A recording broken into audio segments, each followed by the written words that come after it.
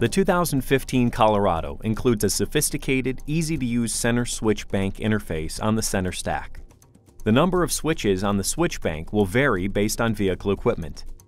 The switches themselves are large, have a tactile feel, and include an easily recognizable graphic logo for quick identification as to their purpose.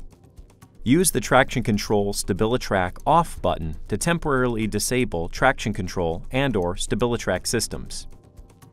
To turn off traction control, press and release the button. The traction off indicator will display on the instrument cluster. To turn off both traction control and StabiliTrak, press and hold the button until both the traction off indicator and the StabiliTrak off indicator are illuminated on the instrument cluster and stay on.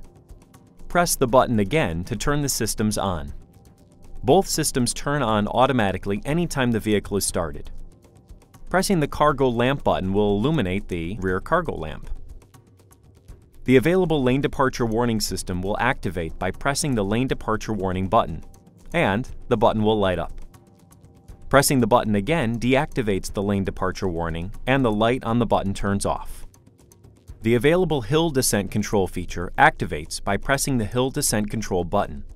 The hill descent control light will illuminate in the instrument cluster. Press the button again to disable hill descent control. Front and rear hazard warning flashers are activated using the center button. Indicators in the instrument clusters will flash in conjunction with the hazard flashers. Press the button again to turn the flashers off.